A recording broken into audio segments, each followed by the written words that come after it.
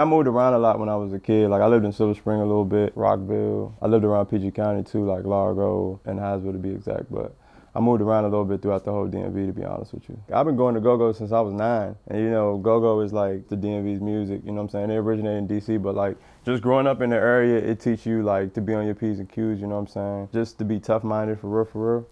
You know what I'm saying? It's a tough, it's a tough place to live at, but it's a dope place to live at too, because it's a melting pot.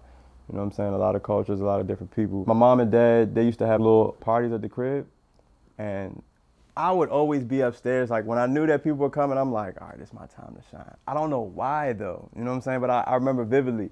And I'd be upstairs, you know what I'm saying? This when Michael Jackson was still out, like Michael Jackson was still alive. And he was like my favorite, so I'd wear the little Michael Jackson top hat.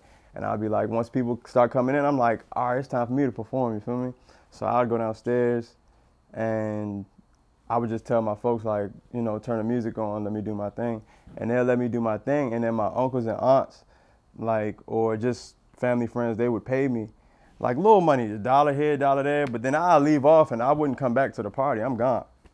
You feel me? Like I'm upstairs playing Sega Genesis, Streets of Rage, real heavy. I think just my love for performing and just the culture of hip hop really just intertwined with like who I am as a person, you know what I'm saying? I'm really like into fashion and fashion and hip hop they mixed together. So it found me. I didn't I didn't go looking for it. I remember I fucked up my shoes, some shoes that I had. I was probably like in third grade, and my mom went to take me to go get some shoes.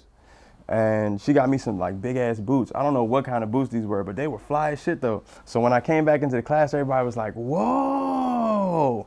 And then from that day forward, I was like, oh no, I'm gonna be fresh the rest of my life. I started rapping because my brother started rapping. I went to the studio with him and I seen how like he got in there and he just recorded quick as shit. That shit was like impressive. I was like, damn, all right. Maybe like a year later, that's when I really got into it. And then that was like 2011, but I was still playing college basketball.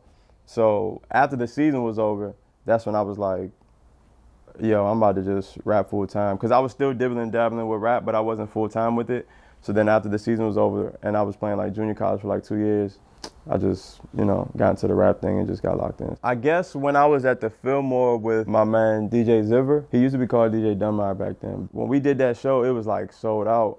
It was so many people there and man, I fucked that joint all the way up, you know what I'm saying? And that's the first time I ever got paid from rap. That's when I was like, all right, I probably could do something with this as a career. That was like 2015, 16. That's when I locked in and was really like, yeah, let's do this, you know, whatever it takes. I really love performing, you know, just really rock out and give them a um, give them a glimpse of how it feels to like grow up in the DMV for real, for real.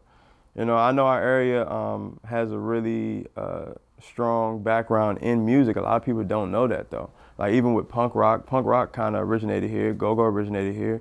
A lot of underground shit originated here. You know, um, even with a lot of fashion too. Like Yeezy just said it the other day. I ain't say Kanye said it. All right? He said it. So it is what it is. It's just time to show the world what it is. And I think I just want to show it from my perspective and just from my point of view. And that's like the most honest thing I could say.